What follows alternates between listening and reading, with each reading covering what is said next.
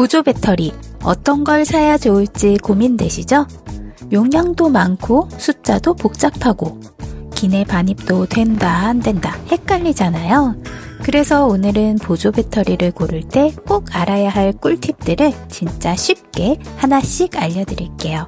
끝까지 보시면 어떤 보조 배터리가 나한테 딱 맞는지 바로 알 수 있을 거예요. 먼저 MAH 이 단어 보신 적 있죠? MH라고 읽기도 하고 정식으로는 밀리암페어 아워라고 읽어요. 이 숫자는 보조 배터리에 들어있는 전기의 양을 뜻하죠. 그러니까 숫자가 클수록 더 많이 충전을 할 수 있는 거예요. 예를 들어 5000mAh는 작은 물통, 2만mAh는 아주 큰 물통이라고 생각하시면 되죠. 근데 이 숫자를 그대로 다 쓸 수 있는 건 아니에요. 보통 70에서 80% 정도만 실제로 쓸 수 있어요. 왜냐면 전기를 보내는 과정에서 약간씩 새어나가거든요. 물을 옮기다가 조금씩 흘리는 것과 비슷해요. 자, 그럼 예를 들어 볼까요? 아이폰 16 프로는 배터리가 약 3577mAh예요.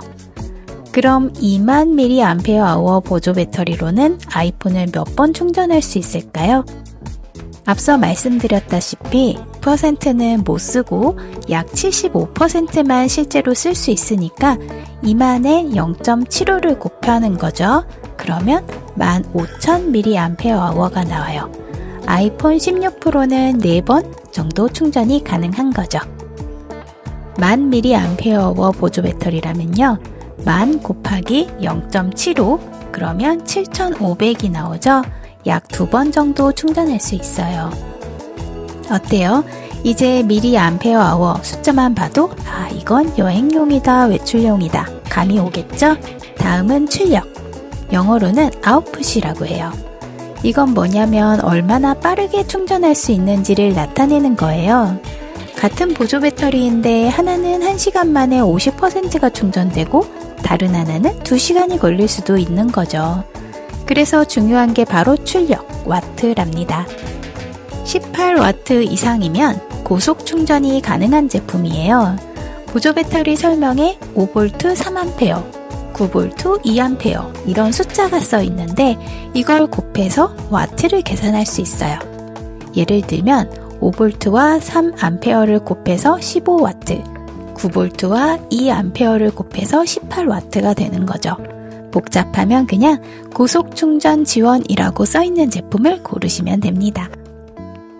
여행 가시는 분들 보조 배터리 비행기 탈 때 무조건 기내에 들고 타야 하는 건 아시죠? 근데 용량이 너무 크면 아예 반입이 안 돼요. 기준은 이렇습니다. 100W 아워 이하면 자유롭게 들고 탑승이 가능하고요. 여기서 160W 아워는 항공사에 미리 승인을 받아야 해요. 160W 아워가 넘으면 안 됩니다. 그럼 와트 아워는 어떻게 계산하는지 알아볼까요? 공식은 간단해요. 미리 암페어 아워 곱하기 3.7 나누기 1000 그러면 와트 hour가 됩니다. 예를 들어 2만 밀리암페어 hour 곱하기 3.7 나누기 1000 하면 74 와트 hour가 되죠. 기내 반입 가능한 제품이에요. 그래서 2만 밀리암페어 hour까지는 대부분 괜찮고 그 이상은 꼭 확인하셔야 해요. 그럼 어떤 보조 배터리를 고르면 좋을까요? 간단하게 정리해 볼게요. 하루 외출용이다. 그러면 5천에서 1000mAh의 고속 충전을 지원하는 제품이 좋고요.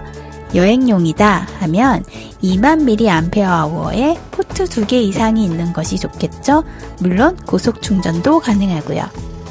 여러 기기를 충전하고 싶다면 USB-C와 USB-A 타입이 모두 있는 제품을 추천드려요. 추천 제품 링크는 고정 댓글에서 확인하세요.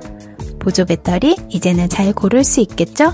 미리 암페어 아워, 출력, 기내 반입까지 핵심만 콕콕 짚어드렸습니다.